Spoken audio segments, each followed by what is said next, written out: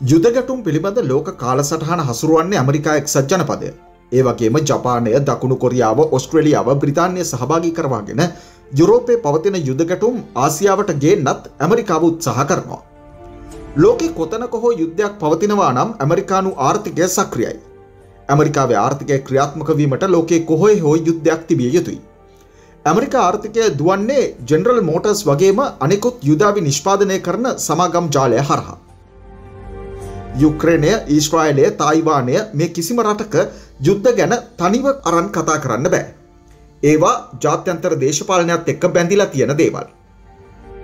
NATO රටවල් America උපදෙස් මත ඒ අයගේ අවි යුක්‍රේන යුද පෙරමුණට පිටත් කළා. තවත් අවුරුද්දක් යන විට යුක්‍රේන යුද්ධය අවසන් වෙයි.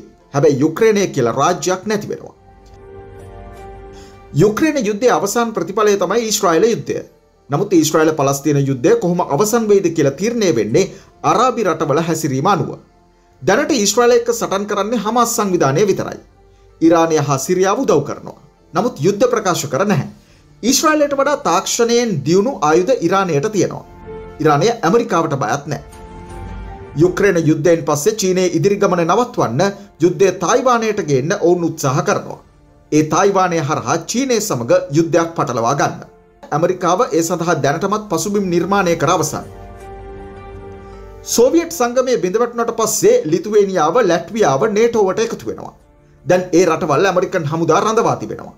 ඔවුන්ගේ අපේක්ෂාව රුසියාව යුද්ධයකට පටලවා ගැනීම වනත් යුද්ධයක් ඇති නොවන එකම හේතුව රුසියාව සතු අතිවිශාල න්‍යෂ්ටික බලය.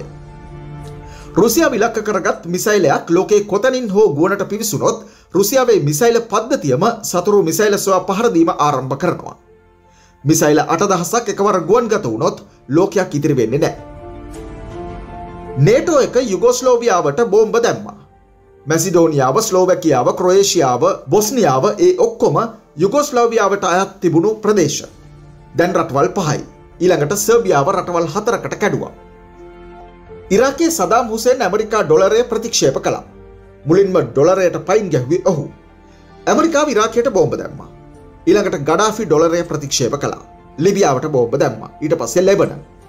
පුටින් ඩොලරය ප්‍රතික්ෂේප කරලා බ්‍රික් සංවිධානය හරහා ලෝකය පුරා දැන් රූබලය ප්‍රචාරය කරනවා. ඩොලරයට රූබලය සමඟ හැප්පෙන්න්න බැරිකමක් තියෙනවා. ලෝකේ බොහෝ රාජ්‍යන් රුසියාවේ මුදල් ඒකය සමඟ හොඳින් ගණු දෙනු කරනවා. ඇමරිකාව බලහත්කාරයෙන් ඩොලරය සියලුම රාජ්‍යන් මත පටවන්න උත්සාහ කරනවා. ලෝක ජනගහනයෙන් සයට හතරයි රුසියාව ඉන්නේ. ස්වාභාවික සම්පත්වලින් සයට හතලිහක් තියෙන්නේ රුසියාවේ. බටහි රටවල් මුහුණදී සිටින ආර්ථික අර්බුදය හමුවේ බටහිරට රුසියානු සම්පත් අවශ්‍යයි. බටහිරට චීනයේ ආර්ථිකය බිඳ දැමීමටත් අවශ්‍යයි. චීනය තමයි ශක්තිමත්ම නිෂ්පාදන ආර්ථිකය. ඒ වගේම ශක්තිමත්ම යුද බලය. නේටෝවට චීනයට ගහන්න බෑ රුසියාව දුර්වල නොකර. එනිසයි යුක්‍රේන යුද්ධය ඇති කළේ. දෙදස් දාහතරෙදි යන්කොවිච් කියන යුක්‍රේන ජනාධිපතිවරයා හිටියේ රුසියාවට පක්ෂපාතය ස්ථාවරයක. ඒ පාලනය පෙරලා දමන්න ඇමරිකාව ඩොල බිලියන පහකට වඩා වියදම් කළ. දෙදස් දාහතරේ මයිදාන් කියන අරගලය ඇති කළා. යුක්‍රේන තරුණ පරම්පරාව රුසියාවට විරුද්ධ මතයකට ගෙනාව. යන්කොවිච්ගෙන් පස්සේ පරසෙන්කෝ ජනාධිපති බවට පත් වුණා.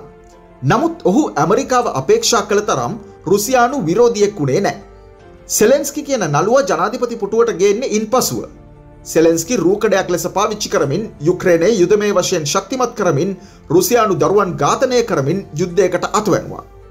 එක්දස් නම්සි අනුව එකේ සිට නිහඬව ඉඳලා අන්තිමට රුසියාව යුක්‍රේණයට පහර දෙනවා. දැන් ඇමරිකාව යුද්ධ පෙරමුණු දෙකක පැටලිලා. එකක් යුක්‍රේණය අනික ඊශ්‍රයිලය. ඔවුන්ට යුක්‍රේණ යුද්ධය දිනන්න බෑ. ලබා දෙන ආයුධ දවස් දෙකතුනෙන් යකඩ ගොඩවල් බවට පත්වෙනවා. ජර්මනිය ලෙපාට් කියන දියුණුම යුද ටැන්කිය දුන්නා. බ්‍රිතාන්‍ය චලෙන්ජ කියන තාක්ෂණය අතින් ඉහළම යුද ටැන්කිය දුන්නා. සතියක් යන්න කලින් ඒවා යකඩ ගොඩවල් වුණා. රුසියාව ඔත්තු බලන කුඩා ඩ්‍රෝන මිසයිලයක් හැදවා. එයින් සතුරු යුද ටැන්කේ ස්ථානගත වෙලා ඉන්න ස්ථාන ගැන මිසයිල පද්ධතිය දැනුවත් කරනවා. සැනින් සියලුම යුද ටැන්කි විනාශ කරනවා. ඇමරිකාවට අවශ්‍ය වුණ රුසියාවට පහර දෙන දෙවැනි පෙරමුණක් නිර්මාණය කරන්න. ඇමරිකා උත්සාහ කලා ආමේනියාව අසබයිජානය අතර ගැටුමක් ඇති කරන්න. මේ රටවල් දෙක අතර නගෝනි කර්බා කියල කඳු ප්‍රදේශයක් තියෙනවා. ඒ ප්‍රදේශය අත්පත් කර ගැනීම සම්බන්ධයෙන් රටවල් දෙක අතර අර්බුදයක් තිබුණා. ඇමරිකා උත්සා කළේ ඒක පදනම් කරගෙන යුද්ධයක් ඇති කරන්න. රුසියානු හමුදාව ඒ යුද්ධයට පැටලුනේ නෑ. සාම හමුදාවක් විදිහට ක්‍රියා කළා. ඊළඟට ජෝජියාවේ යුද්ධයක් ඇති කරන්න උත්සාහ කළා. ඒක සාර්ථක වුණෙත් නැහැ. ජෝ බයිඩන් ඊශ්‍රායලෙන් ඉල්ලා සිටියා යුක්‍රේන යුද්ධයට ආයුධ දෙන්න කියලා. ඊශ්‍රයිලය යුක්‍රේන යුද්ධයට අත දමන්න හදද්දි තමයි හමස් සංවිධානය ඊශ්‍රයිලයට රොකට් ප්‍රහාරෙල්ල කළේ. ඊශ්‍රයිලය ඉල්ලා සිටි යුද්ධය ඔවුන්ට ලැබුණා. දෙවැනි ලෝක යුද්ධයෙන් පස්සේ අරාභිකරයේ චණ්ඩිය විදිහට යුදෙව්ව ශක්තිමත් කරලා එතැන්ට ගෙනත් දාන්නේ ඇමරිකාව.